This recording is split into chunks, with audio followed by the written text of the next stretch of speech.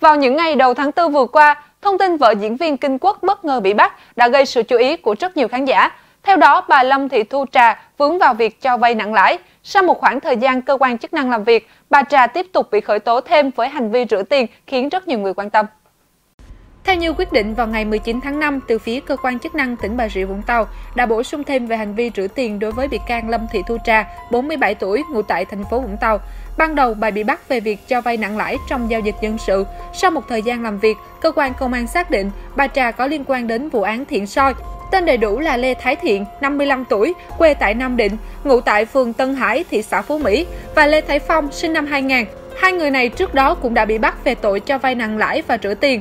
Vợ nam diễn viên được biết đến là một doanh nhân, người phụ nữ giàu có. Cả hai về chung một nhà vào năm 2016. Trước khi bị bắt, bà đã sở hữu khối tài sản rất lớn, bất động sản từ Vũng Tàu đến thành phố Hồ Chí Minh.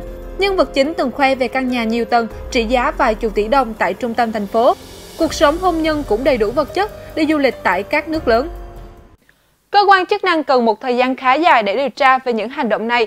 Về phía người thân của bà Trà, cũng không có bất kỳ phát ngôn nào kể từ khi có lệnh bắt đến nay.